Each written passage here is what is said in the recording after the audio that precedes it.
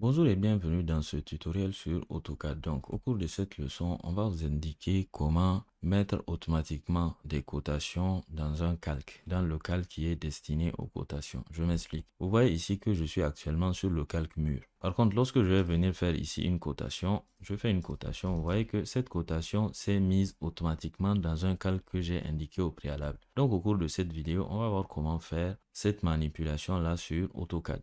Lorsqu'on travaille ici sur AutoCAD, il arrive très souvent que lorsqu'on fait des cotations, on ne prenne pas le soin de se mettre sur le calque des cotations. Vous voyez que là, j'ai fait un calque de cotation en étant sur le calque des murs. Cet élément-là, lorsque je le sélectionne, il se trouve logiquement dans le calque des murs. Lorsque je me trouve par exemple sur le calque 0 et que je fais ici une cotation. Cette cotation va bien entendu se trouver dans le calque 0. Bien entendu, ces éléments de cotation là, je peux les sélectionner, je déroule ici et je les amène dans le calque ici, cotation intérieure. Mais il y a une astuce qui va me permettre, quelles que soient les cotations que je fais, ou du moins, quel que soit le calque sur lequel je suis, et que je fais en fait un élément de cotation, que cet élément de cotation se trouve automatiquement dans ce calque-là. Donc, comment faire ça?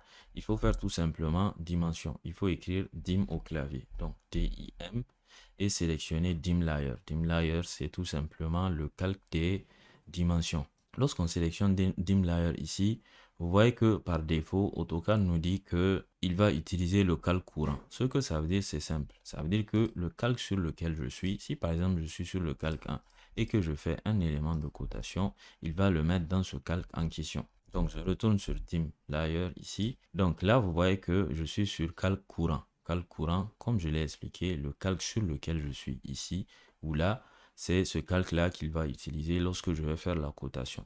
Par contre, moi, je veux forcer pour que à chaque fois, quel que soit le calque sur lequel je suis, il me mette ça dans mon calque cotation intérieure. Donc ça, c'est simple. J'écris tout simplement ici le nom du calque en question. Mon calque, je l'avais appelé code-du 8 intérieur. Donc je fais code-du 8 intérieur et je fais entrée. À l'état actuel, rien ne se passe. Par contre, vous remarquez ici que je suis sur mon calque 1. Je vais faire rapidement ici un élément de cotation et vous voyez que cette fois-ci, cet élément de cotation-là, il se trouve dans le calque que j'ai spécifié. Bien entendu, ici, il faut vous assurer à mettre le bon nom. Il faut vous assurer à mettre le bon nom du calque, auquel cas, il va tout simplement vous créer un autre calque. Admettez ici que je n'avais pas créé le calque des cotations, ou du moins que je veux créer un nouveau calque de cotation que je vais appeler par exemple 1, 2, 3. Donc, je vais faire dim layer ici, et le nouveau calque, je vais lui donner un nom de calque qui n'existe pas encore. Ce nom de calque 1, 2, 3, 4, 5, 6, 7, c'est pour l'instant un calque qui n'existe pas au niveau de mes éléments de calque. Donc, je vais faire espace. Donc, vous voyez que là, pour le moment, je déroule. Je ne vois pas le calque 1, 2, 3, 4, 5, 6, 7 que j'ai créé. Mais dès lors que je vais faire une cotation, je fais une cotation ici, je le sélectionne. Vous voyez qu'il va se mettre dans le calque que j'ai spécifié.